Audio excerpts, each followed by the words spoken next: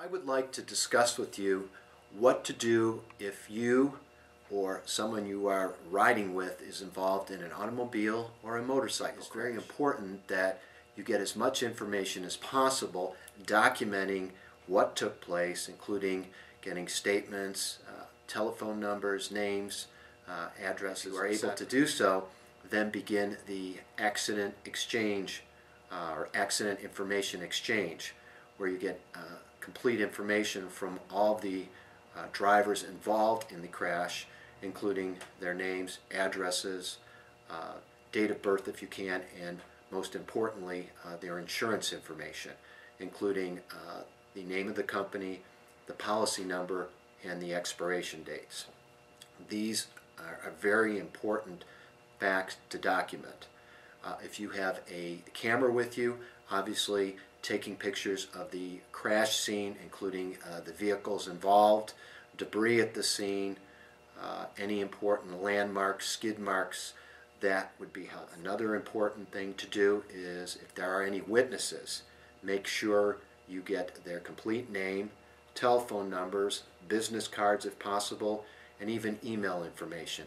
That is very helpful. Uh, once you've gotten all the documentation, including photographs, names, telephone numbers, and insurance information, contact our office as soon as possible so that we can begin the investigation to help you maximize your recovery. Also, please do not be fooled by uh, the insurance company's claims that uh, they will tell you within a day or two if you get a phone call before uh, you've met with an attorney they're going to promise you the world insurance adjusters are notorious for telling you quote don't worry, you don't need an attorney.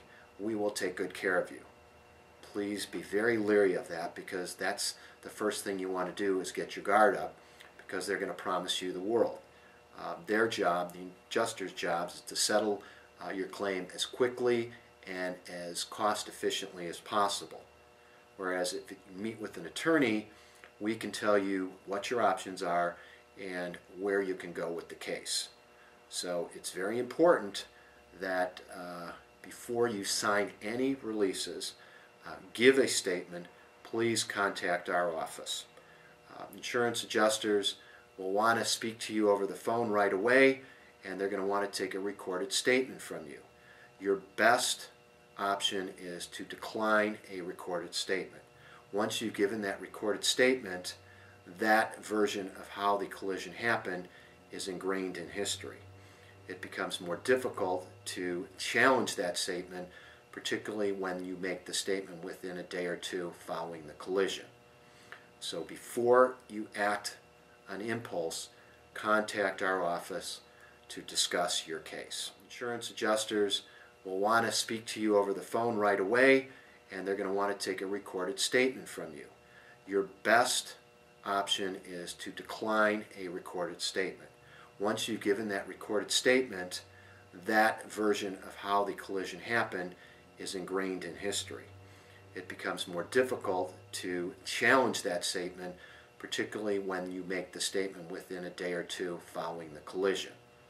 So before you act on impulse, contact our office to discuss your case.